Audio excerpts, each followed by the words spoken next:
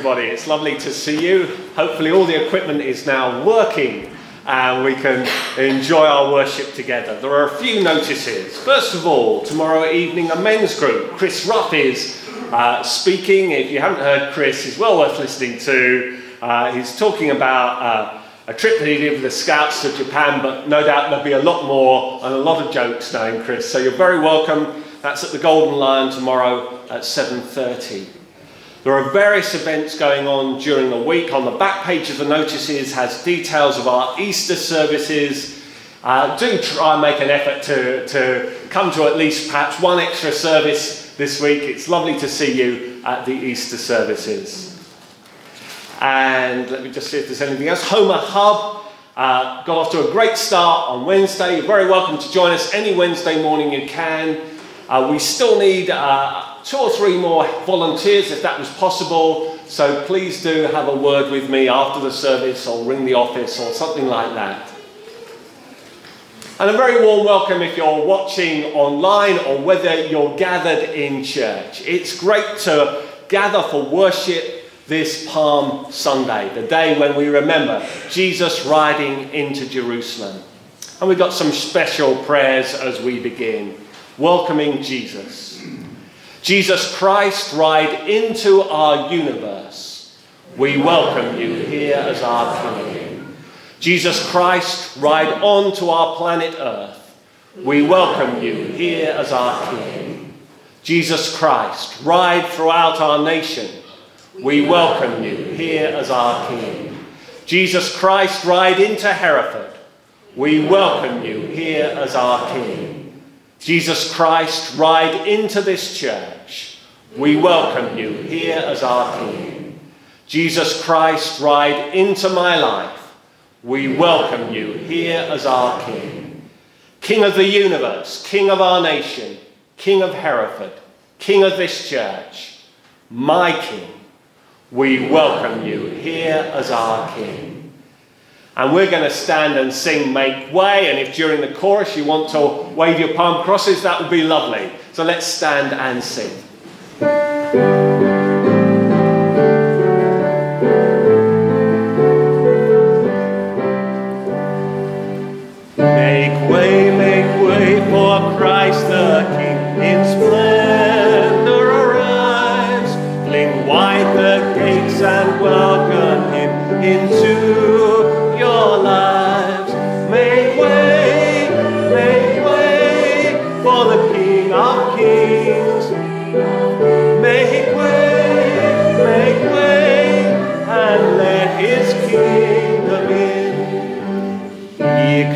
The broken hearts to heal, the prisoners to free. The deaf shall hear, the lame shall dance, the blind shall see. Make way, make way for the King of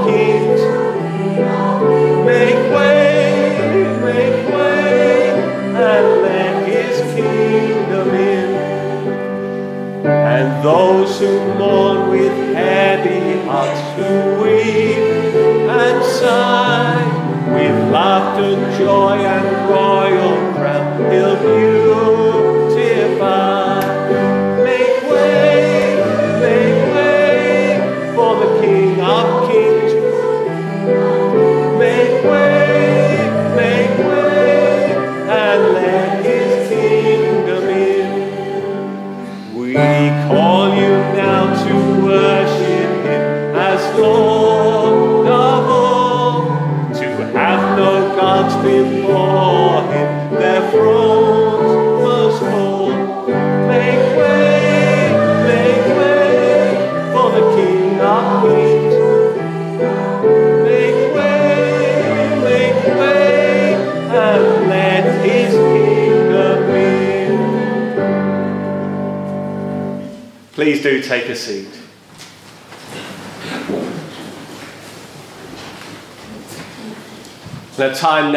us to say sorry to God for the ways in which our lives have not honoured or pleased Him. Let us pray. For the times when our love, when our love for you is all words and not actions, Lord, forgive us and help us. For the times when we greet you as Lord and King and yet do not listen to what you say, Lord, forgive us and help us. For the times when we deny you and do not stand up for you, Lord, forgive us and help us. For the times when we shut you out of our lives, Lord, forgive us and help us. Lord, forgive the weakness of our love for you. Fill our hearts afresh with your love, that we might always serve and praise you. Amen. God so loved the world that he gave his only Son, Jesus Christ, to save us from our sins, to be our advocate in heaven, and to bring us to eternal life. Amen. And if you'd like to hold your palm cross as we say this prayer together. May the palm leaf from which this cross is made remind us of the praise that we should always give to you. And may the cross itself remind us of your amazing love for us. Amen. Well, it's this point in our service that the Sunday clubs go to their groups and we're going to pray for them as they go. Heavenly Father, we pray that whether in church or in the church centre, that we may meet with you, that we may encourage one another, and that above all else, you would speak to our hearts and minds. In Jesus' name, Amen. And a special prayer for today. True and humble King, hailed by the crowd as Messiah, grant us the faith to know you and love you, that we may be found beside you on the way of the cross, which is the path of glory. Amen. Now we're going to have our reading from God's Word.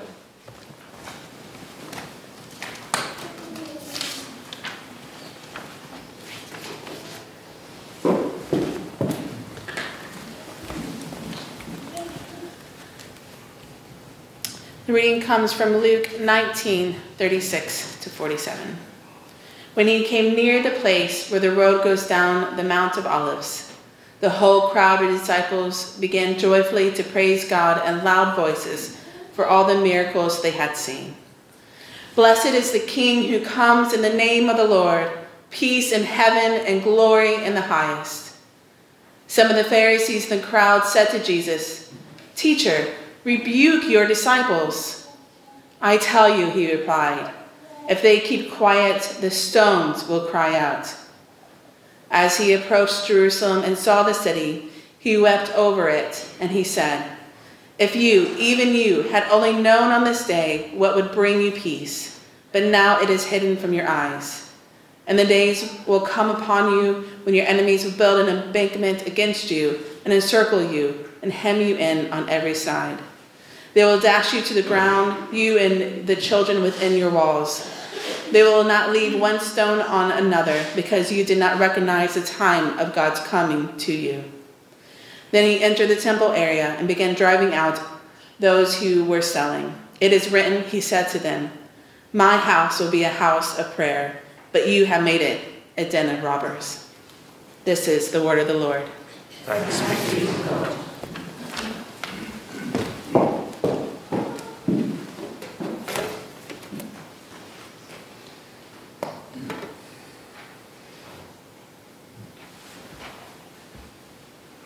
May we pray. Gracious God, please meet with us this morning. We need you in our lives. We need the comfort of your love, but we also need your instruction and guidance. Amen. When you look at the world and the state it's in, what do you do? What do you think? How do you feel? At the moment, it's pretty heavy, isn't it? I've spoken to some people who are strong in their faith and they've said it's been a real blow to their faith what's been happening in Ukraine. It's difficult sometimes. How do you cope? Do you just try and forget it? Do you shut out the news? How do you cope? Do you pour yourself a stiff whiskey? Do you pick up a romantic novel? Do you turn on the TV? Or do you just shrug your shoulders and say, oh, well, nothing I can do about it? Or do you just feel depressed about the whole thing? Well, today we can learn something about how God reacts to the world and the state it's in. Let me set the scene. Jesus has been riding towards Jerusalem on a donkey, riding into the city as the servant king. His followers are cheering wildly. But some of the Pharisees who are in the crowd are objecting. We don't want you as our king. We don't accept you as the Messiah. Tell your followers to be quiet. And as Jesus himself was well aware, that was only the tip of the opposition. And so, what in this passage is Jesus' reaction to a people that don't seem to want to know him? A generation that, perhaps like our generation, rejects God's rule in their lives. And the first thing we should notice about Jesus is his courage. John's Gospel tells us that the religious leaders, both the priests and the very religious Pharisees, had already decided to kill Jesus. They were keeping a lookout for him. They were wondering if Jesus would even dare to come to Jerusalem. They assumed if he did, he'd creep in secretly. They'd given people orders to be on the lookout for him and to report back. Well, there was no great danger of anyone missing Jesus. It was perhaps the easiest spying mission ever to find out where Jesus was. What courage! He comes boldly to Jerusalem. But he comes not as some Western gunman facing his high noon. He comes not to fight. He comes humbly. He comes in peace, riding on a donkey.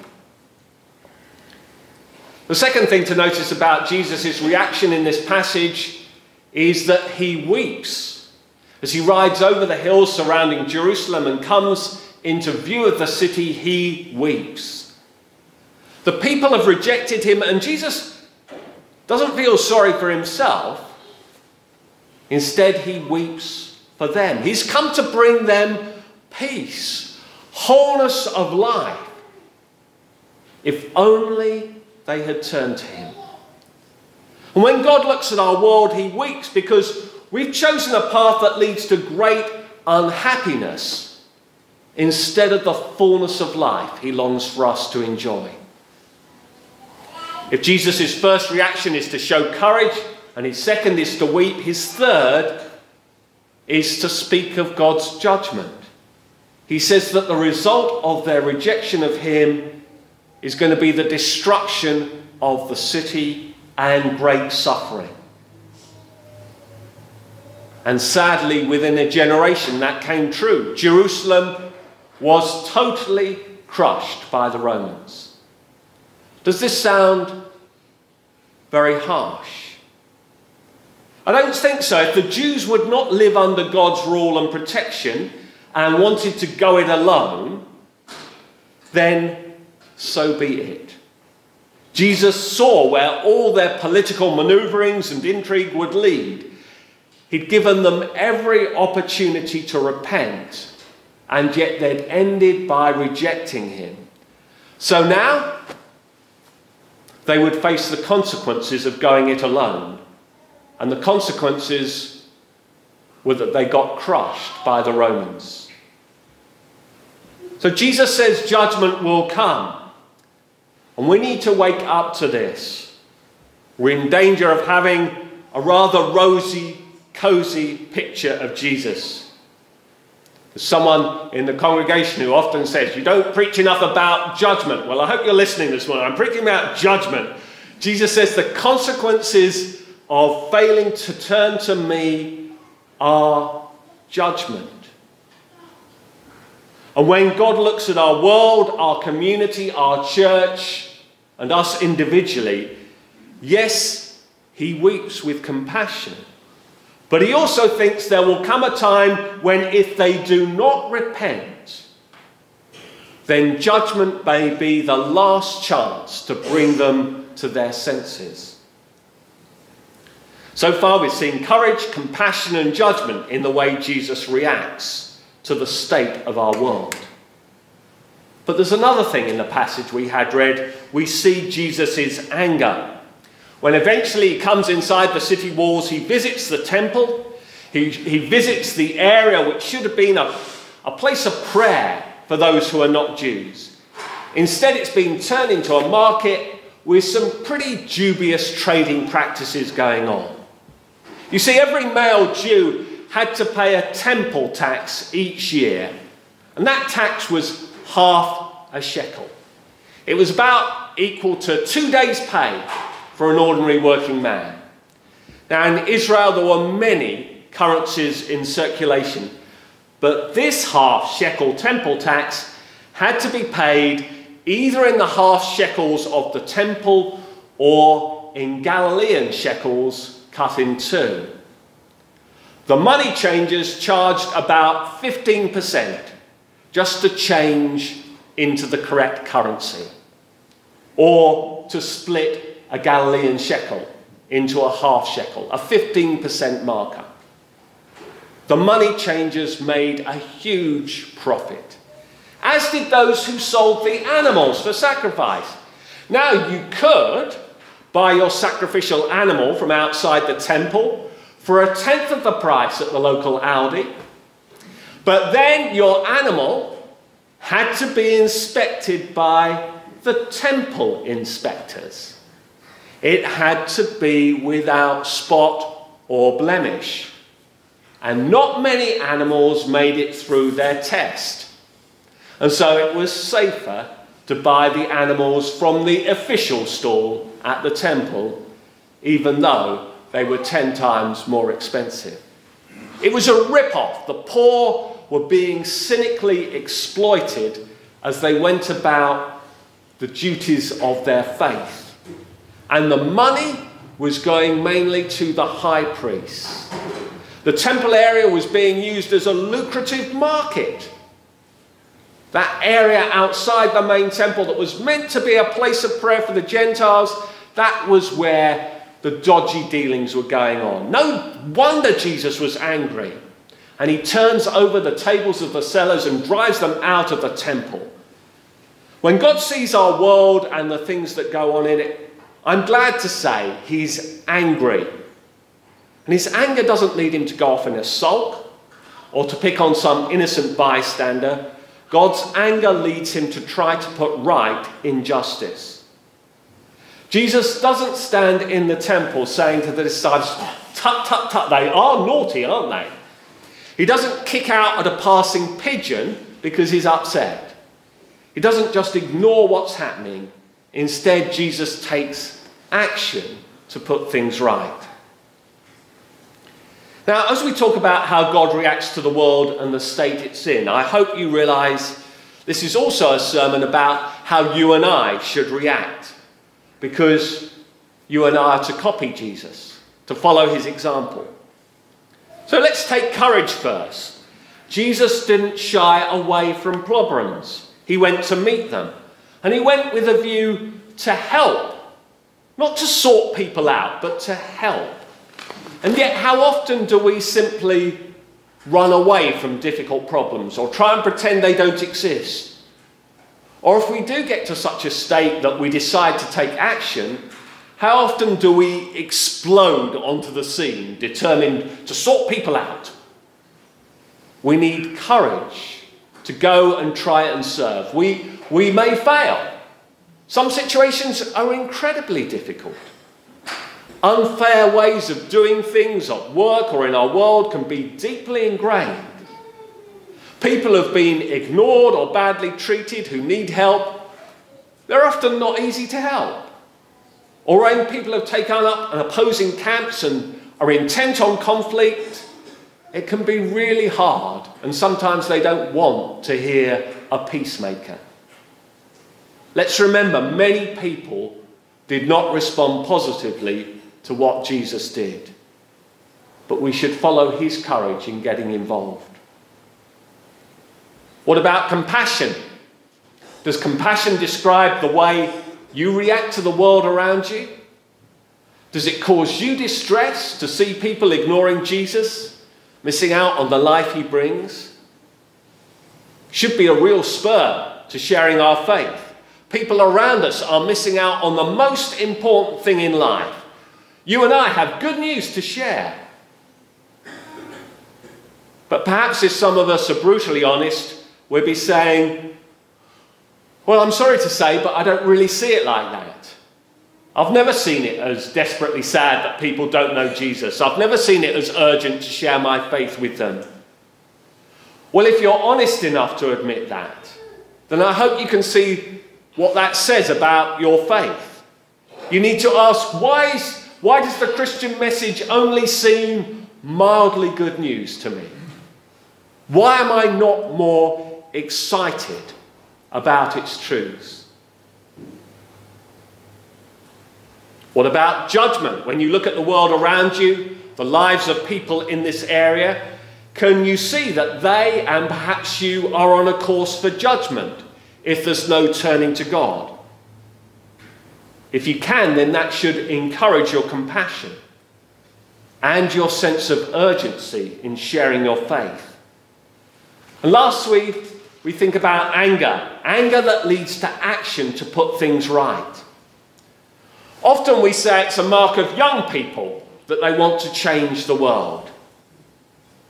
Well, I hope that's not true. As I grow older, I hope I don't lose the determination, the fire to want to change the world. It should be the mark of every Christian wanting to see their lives change, but also to see the world change. Don't you want to make a difference before the time comes for you to meet your Lord in heaven? As someone once said, all it takes for evil to triumph is for good people to do nothing. What are you and I doing to put the world right? Or have you stopped feeling angry at injustice and unfairness? Have you given up the fight? Or let Jesus stir you into action? In our television and social media age, we're bombarded by news that displays in great detail the injustices and results of sin in our world. Some of the stories coming out of Ukraine are desperately sad. And it's not just about the Russians, though when they put weapons that will cause destruction into cuddly toys that will go to children, you feel, what is going on? But also when people in the West try and entice vulnerable young Ukrainian women into their home to exploit them, you think, how low is humanity in its sinfulness? And I say that not because I want to separate myself from those sinful people, but because I know in my own heart I'm capable of great sinfulness. The problem is that we see so much that we become used to it. And the worst of all, we see so much and do so little that we stop feeling and we become used to doing nothing about it. God no longer has Jesus' hands to turn over the temples, sorry, turn over the tables in the temple. He now wants to your, use your hands and my hands to put things right. Obviously, we can't take up every good cause, but far, far better to do something rather than nothing. Amen.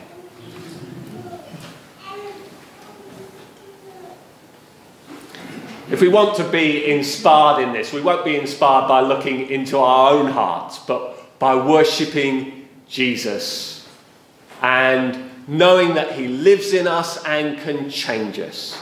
Let's stand and sing together. King of kings, majesty, God of heaven, living in me.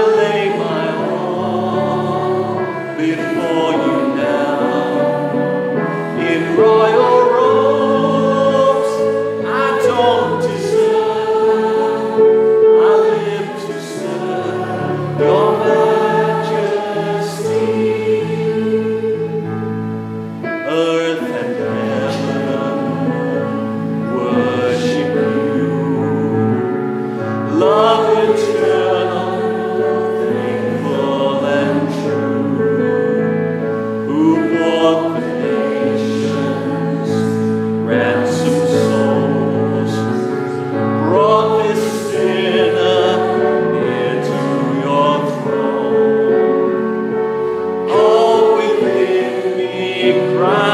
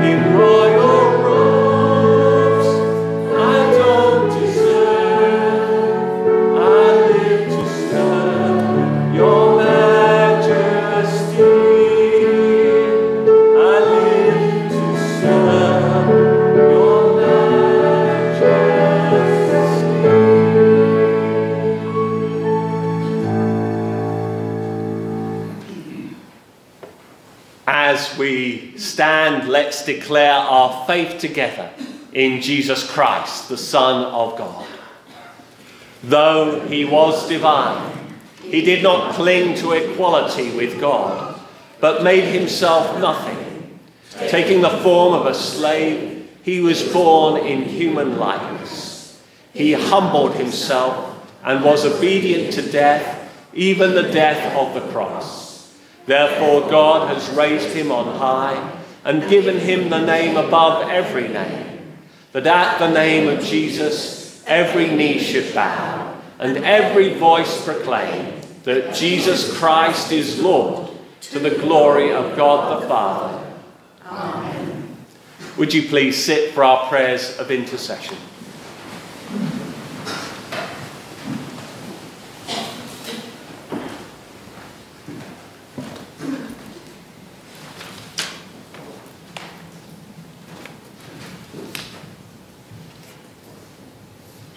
Let's pray. As we remember Jesus going into Jerusalem on a colt and being hailed by the people, waving palms and shouting, Blessed is the King who comes in the name of the Lord. And yet a few days later, many of those same people were shouting, Crucify him, crucify him. They, like many today, didn't understand why Jesus was willing to give up his life on the cross, knowing the suffering he would have to endure before rising again on the third day. Dear Lord Jesus, Thank you for the sacrifice you made on our behalf, and that you are indeed the risen Lord of Lords and King of Kings. We praise and worship you and look forward to the day when you will return to rule this world. We long for your peace and justice to come. And especially at this time, we lift up Ukraine and pray that you will bring an end to the cruel tyranny being inflicted on the people living in those bombed out towns and villages. May your Holy Spirit brood over, that country, overcoming evil intent by President Putin and his supporters through your mighty power and authority. Gracious Father, have mercy on all who are suffering, especially the civilians caught up in the conflict, many of whom have been tortured and killed without cause. Lord, in your mercy, hear our prayer.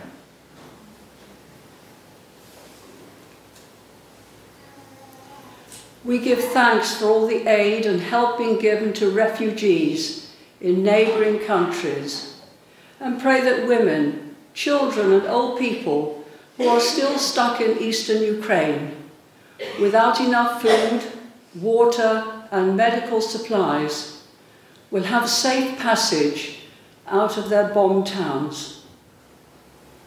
Help them, Lord, as they come to terms with losing family members, homes and everything they have. Please bring your justice to all who have committed war crimes against humanity. And have mercy on the soldiers as they fight to save their country. Thank you for President Zelensky's brave leadership. And we pray that he might see your hand at work in bringing the war to the end. Lord, in your mercy, hear our prayer. Thank you, Father, for the many answers to prayer and for the way you've brought us through the COVID pandemic. As we think back over the past two years of lockdowns and difficult times for many, we give thanks for the vaccination programme and that life is beginning to get back to normal. But we also pray that people will still be careful as numbers of cases are increasing. Especially we pray for NHS staff, emergency services and teachers who are struggling because of colleagues having to self-isolate. Lord, in your mercy, hear our prayer.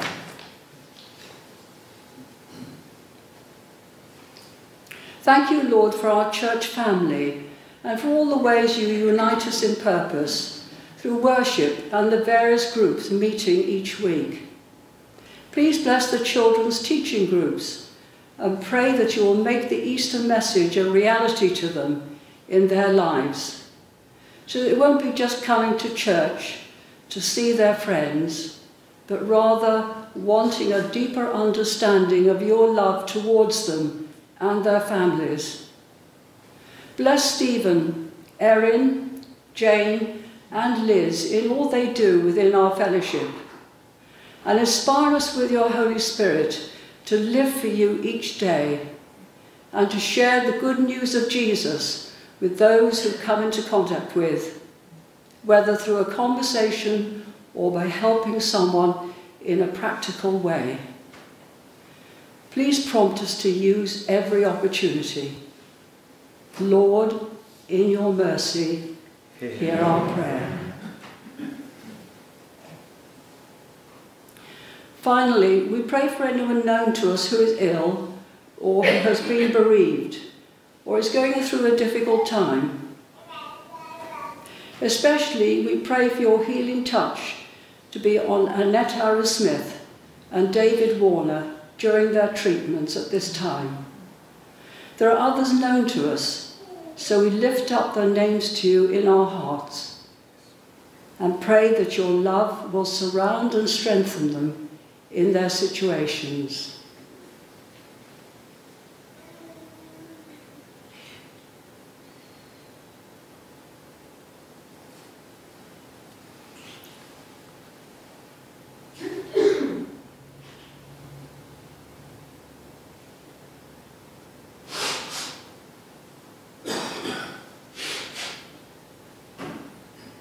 Thank you, Lord, for your healing power and that you are a God of miracles. Amen. Gathering our prayers and praises into one, as our Saviour taught us, so we pray slowly, thinking about every word. Our Father in heaven, hallowed be your name. Your kingdom come, your will be done, on earth as in heaven. Give us today our daily bread. Forgive us our sins, as we forgive those who sin against us. Lead us not into temptation, but deliver us from evil. For the kingdom, the power, and the glory are yours, now and forever. Amen.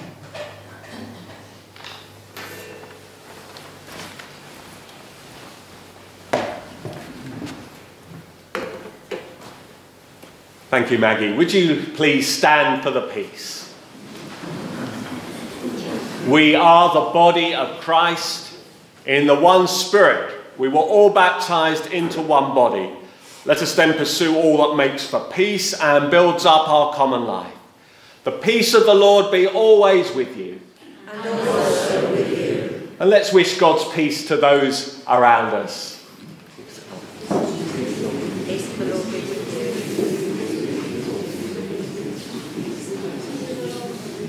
And now we're going to sing meekness and majesty.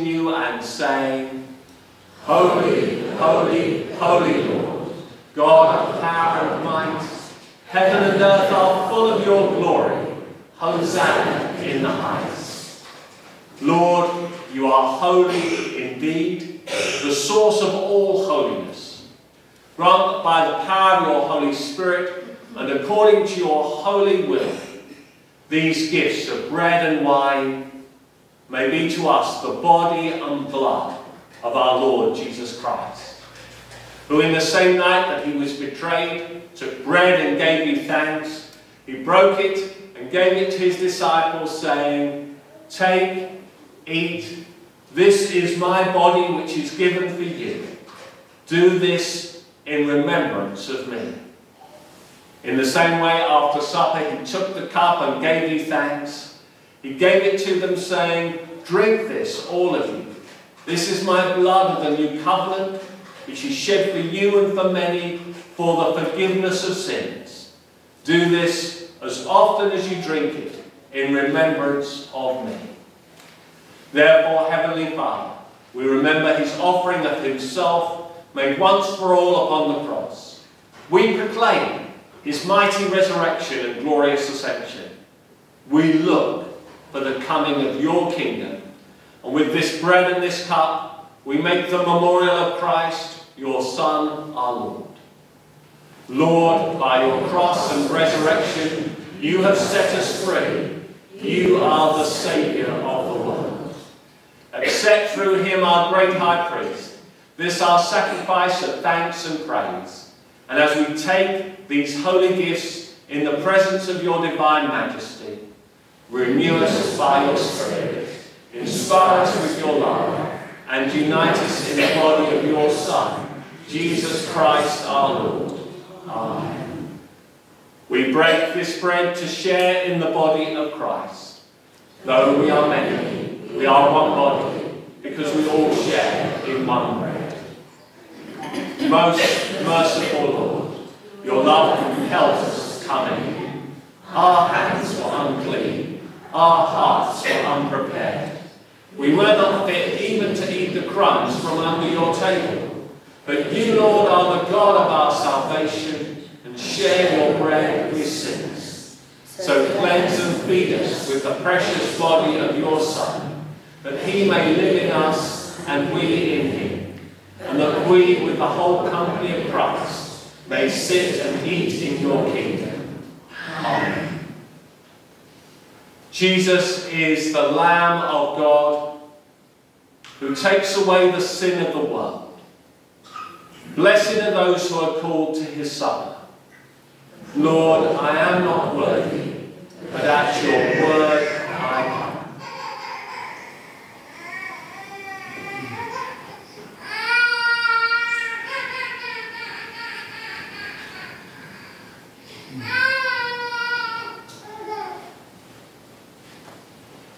As we've been doing recently, I invite you to come up to the front to receive a wafer of bread and for you to take that back to your seats and then we'll all eat the bread together. So if you'd like to come and receive in faith.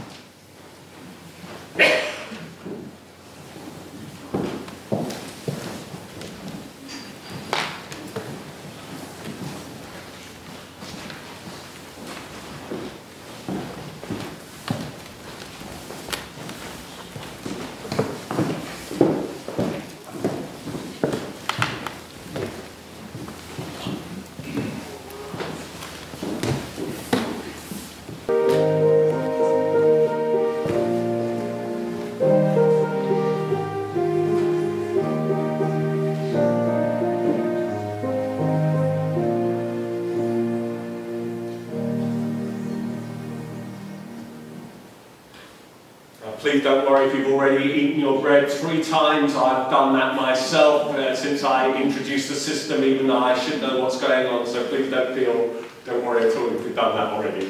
So the body of our Lord Jesus Christ, which was given for you, preserve your body and soul unto everlasting life. Take and eat this in remembrance that Christ died for you, and feed on him in your hearts by faith with thanksgiving. Amen.